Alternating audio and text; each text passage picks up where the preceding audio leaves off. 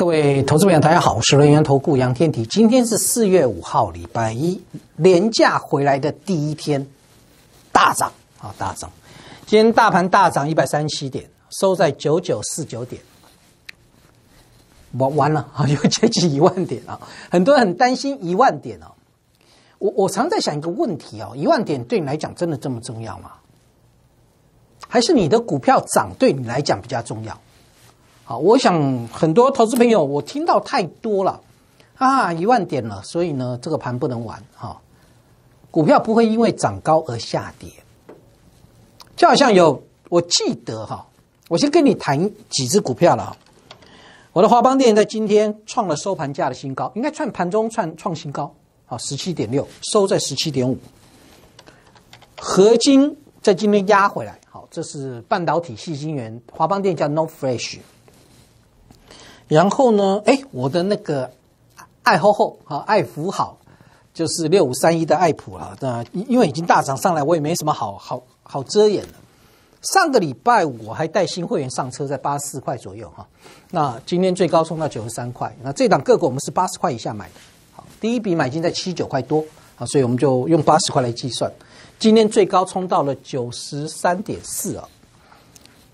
爱普是做什么的？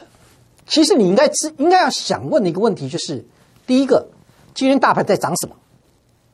好，第二个部分，未来会涨什么？第三个，那杨老师介绍股票，它具有哪些利基点，对不对？你应该往这个角度去想嘛。好，我不会因为今天先进光涨停板，我就变成有先进光；我也不会告诉你，我今天追进去了亚光，然后拉拉涨停板，不会了啊。因为光学股对我来讲，没错，我同意。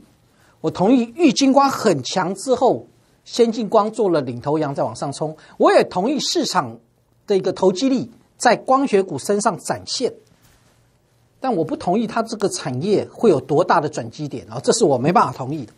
所以我选股票一定是从产业的趋势去出发的。我问你嘛，我就用爱福好为例啊，我买的时候，在我脸书上的粉丝专业我有盖牌了，很多人猜到，诶，有一个的讲法，我觉得还蛮好玩的，叫“爱收售”，爱的收售哈，收售就普通嘛哈，所以我觉得还蛮有蛮有创意的啊。那爱普的部分，当时我们在买的时候是七十九块多，我们就用八十块来计算，到今天来到九十三块以上，是不是这一段是涨了十三块？好，涨十三块就是涨幅超过超过十趴以上了啊。那为什么敢在这边买？重点是我为什么敢在这边买，这才是关键哦。今天转强了，我进去买哦。比如说昨天转强了，很多人就继续追，那个 OK 了啊，那个不谈哦。重点我为什么在这边买？你把这边都遮掉，你把这边都遮掉哈，这边都遮掉。为什么我敢在这一天买？如果我没有做过研究，我对一档个股没有做过研究，我不敢带我会员进场。如果这个产业趋势是往下的，我也不敢带你去做强短啊！就算是强短，我都不敢，因为我很清楚知道一件事情：你要在股票市场中赚钱，绝对不是盲目的，绝对不是盲目的。我有一档股票停利了，但今天拉到涨停板，有点可惜。但相对来讲，很多人是被套牢的。我待会跟你谈那只股票叫美西嘛。我停利了，好停利，我必须要设停利点。你跌破我的停利点，我就必须保障我当时在三十六块买的部分，我必须要嘛，必须要有十五趴到二十趴左右的停利。啊，问题是估的价格还在往上涨。我待会跟你谈这个东西，这个很妙。我有时候没有把它讲得很清楚，是因为什么？第一个时间不够，第二个我讲产业面，很多投资朋友不爱听。你最喜欢听的就是哦，这只股票有有主力在里面啊，量价齐扬，技术分析，那么形成了一个多头架构。你大概喜欢听这个东西，但是我认为，不管是技术分析也好，筹码分析也好，它最终回归到原点就是什么？就是回到所谓的一个基本面的一个状况。那你的基本面到底好不好？筹码面影响的是短期，基本面才是长期。好，我就直接用这个角度来看哈。我卖掉，先告诉各位，我停利掉了。美起码在今天拉了涨停板，拉了涨停板。这个这个网络真的有够差哈。但是今天我们用 K 线来看，就发现它今天拉涨停板，好，拉涨停板。美骑马拉涨停板，我先跟各位报告，它从高档杀下来这一段期间，钴的价格在往上创新高。好，我当时在三十六块买，有没有？我在这边买，我三十六块买。我当时有跟你谈到，我认为钴的价格往上走，将来会反反映到美西马身上。就后来大涨，大涨到五十五、十四块多，好，五十四块。这一段下杀下来，这一段下杀下来是筹码面的关系，好，是因为某一个某一个券商啊，当初在这边死命买，后面死命认赔杀，啊，叫富隆哈，这个富隆的一个分点啊。好，我们不讨论它的一个分点，因为是筹码战，我我也给他看啊，我也在看。但问题是，钴的价格在往上涨啊，钴的价格往上涨，就算你主力杀下来，还会影响短期，后面会怎么样？还是要涨回去，不是吗？还是要涨回去嘛？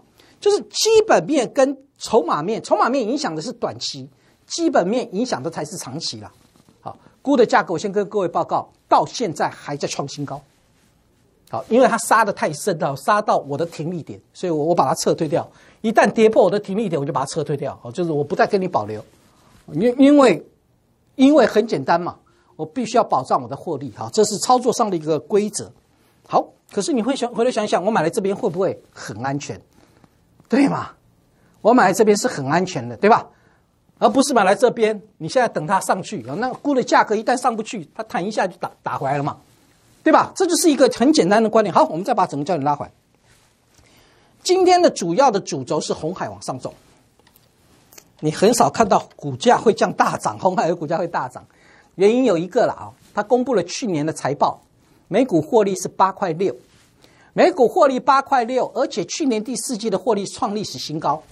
那去年的八点六 EPS 八点六元是三率三升，哪三率？第一个毛利率，第二个盈利率，第三个纯益率。纯纯益率我们用 EPS 来看，好，所以通常。呃，三率三升代表什么？代表它在去年的经经营的绩效非常好，所以今天开盘就开了涨了五个百分点，然后这个非常厉害。六大外资调高它的平等，好，最夸张的叫麦哥来啊，啊，最夸张叫麦哥来啊，麦格里啊，他把它评价拉高到一百五十块，麦哥来啊，后来会涨到一百五，麦哥来啊。这麦格里是胡说八道啊！那你就不不用管，反正六大外资的调高的平等都是在一百块以上哈。好，所以今天红海大涨，它造成了全指股在往上推，包括了台积电，包括了一些全指股，包括外资，那这一定外资买嘛？谁会去买它？外资嘛，所以外资今天是大买超。好，原因就在于红海的部分。好，红海起来之后，那中小型股呢？中小型股也涨哦。我一定要讲得很清楚啊！今天报章媒体有说了一个讯息，叫金豪科它 No Fresh 涨这个这个，对它有 No Fresh 啊，它是立基型的 IC 设计，立基型 IC 设计包含我们买进的爱普嘛，八十块买进的爱普，包括什么？包括裕创啊，这三家叫立基型的。那立基以前叫立基，有一个叫立基，那立基的部分被爱普并掉，好并掉，所以基本上爱普也是立基型第二，但是立基型的 IC 设计里面，爱普。它所具有的利基叫做授权，它是 IP 的概念哦，IP 的概念叫细资产概念。我我待会跟你谈这个东西。金豪科拉涨停板是因为它有手上有 No Fresh，No Fresh 在大缺货嘛，对吧？好，豫创今天大涨，豫创手上没有 No Fresh，它是利基型低润设计。爱普大涨，它也没有 No Fresh。各各位理解我的意思吗？所以大家会认为，哎，金豪科的涨停板，爱普也会冲啊？什么这个这个联想啊，包括预算也会冲。那爱普本身我在买它，并不是它的 No Fish，好不好？我们一定要很清楚知道我在买什么。所以说你会觉得，哎，为什么金豪科涨停，爱普不会？啊，你去追就追到高点的。我今天调了一半啊，今天调了一半。好，我为什么把它调节掉？因为上影线太长。好，那我必须要保障，我从八十块涨到九十块，也涨了十块钱，所以我必须要做一个获，就是有一部分获利落袋。然后再看看它后面的变动。好，有时候我们在做股票是这个地方没有办法在赖上面告诉你。好，这个没办法，这个是会员的权益啊，所以你要把一定要很清楚的知道。但是产业面的部分，我会跟各位分享。就好像，哎，记得我在赖的上面，当时我在送给你的时候，应该是在三月十号，才华洋溢，对吧？就是华邦店嘛，二三四四的华邦店哈。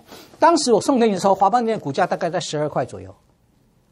今天已经来到十七块半，我记得很清楚哈。来，啊，十号，三月十号在这个位置，就是这一天。好，我送给你了才华洋溢啊，三月十，三月十号，三月十号。那我送给你的才华洋溢，当时的股价在十二块左右。才华洋溢赖的部分也告诉你，好，那么这个才华洋溢就是有一档什么个股啊，怎么样？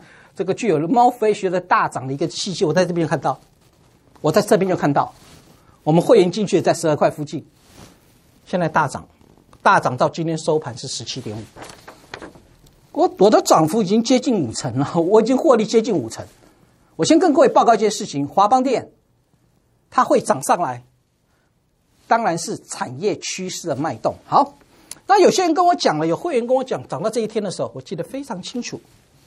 这一天啊，大量这一天。好，有会员跟我讲，老师，有人说华邦店涨高了哈。我我常在想一件事情啊，股票的涨高跟涨低是由你主端的主观的一个判断嘛。好，那会员打电话来，我说你再买十四点六，再买再买一百张。哎呀，老师有会有有有这个投顾老师说什么华邦电要来放空？为什么？我说为什么？因为涨高了哈，涨高，涨高之后这一天放大量嘛，很多人以为结束了，没有？又去放空它。然后我说你继续再买一百张。他本来手上就已经有有大概有三百张左右了，再买一百张是四百张。结果十四点六再买一百张，今天收盘价十七点五。一百张三块钱是多少？你算一算，会不会算？我直接告诉你，叫三十万。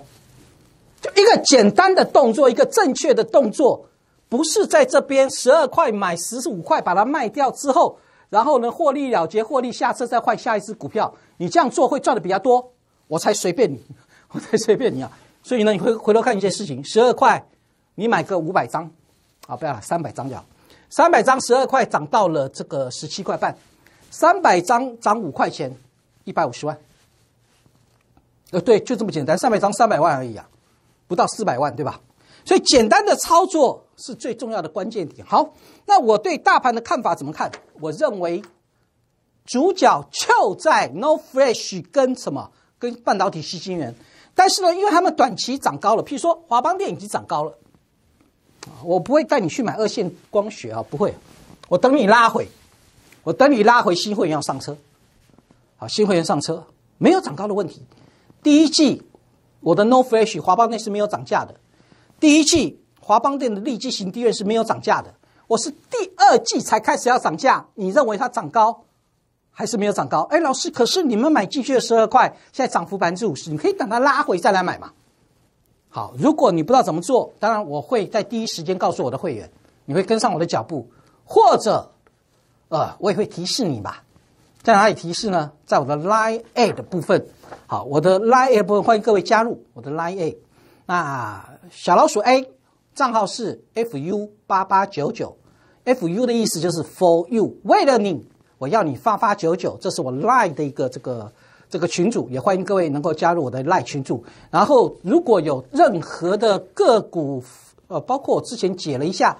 这个苹果的供应链有没有？我当时给你提到那个那个状况，二零一七，他们二零一七变二零一六，那个那我就不带岁数哈，那个很多说，有时候我们在讲的时候哈，真的是一个一个连贯下来。